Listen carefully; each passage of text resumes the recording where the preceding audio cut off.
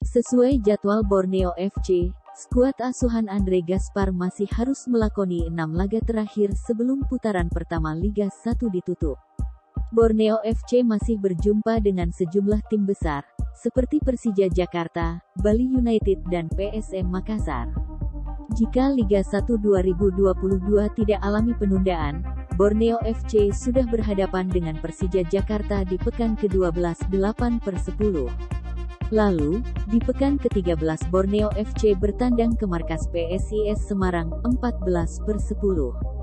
Setelah laga tersebut, Borneo FC dijadwalkan kembali ke Stadion Segiri Samarinda untuk menghadapi PSS Sleman di pekan ke-14 Liga 1, 22 per 10.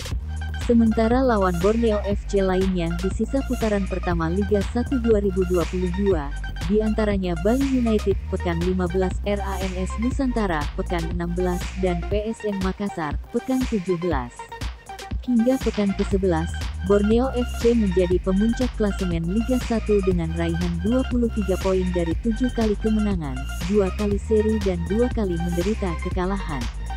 Poin tersebut sama dengan Madura United yang berada di peringkat kedua, hanya saja Pesut Etam unggul selisih gol dari Laskar Sape Kerap.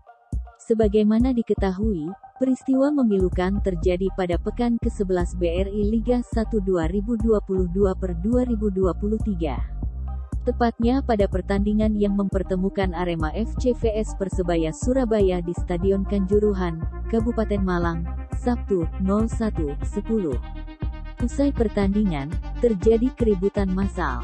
Sejumlah fasilitas yang ada di dalam stadion mengalami kerusakan parah. Hingga Selasa, 11 per 10, terdapat 132 korban meninggal akibat tragedi Kanjuruhan. Terkait hal itu, PT Liga Indonesia Baru (LIB) menggelar managers meeting bersama para kontestan BRI Liga 1 2022 per 2023 pada Sabtu, 8 per 10 sore WIB. Agenda tersebut membahas perihal kelanjutan kompetisi BRI Liga 1 2022 per 2023 usai tragedi di Stadion Kanjuruhan. Hadir pada agenda managers meeting yang diadakan secara virtual tersebut jajaran Komisaris LIB yakni Juni Rahman, Komisaris Utama LIB, Ferry Paulus Komisaris LIB, Munafri Arifudin Komisaris LIB, dan Andogo Wiradi, Komisaris LIB. Sementara itu hadir juga jajaran direksi LIB di antaranya Ahmad Hadian Lukita, Direktur Utama LIB Sujarno, Direktur Operasional LIB, dan Antoni Chandra Kartawirya, Direktur Keuangan LIB. Tidak ada klub yang absen pada agenda managers meeting kali ini.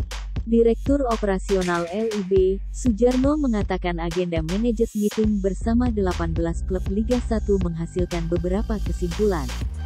Ia menyebutkan, bahwa pihaknya saat ini tengah menunggu arahan dari otoritas pemerintah perihal kelanjutan kompetisi BRI Liga 1 2022 per 2023. Di samping itu, pihaknya juga akan mengabarkan segala perkembangan terbaru kepada para kontestan setiap harinya. Segala informasi ini tentunya dibutuhkan oleh setiap klub untuk menyiapkan program dan perencanaan yang dibutuhkan jika nantinya kompetisi dilanjutkan kembali. Terima kasih sudah nonton.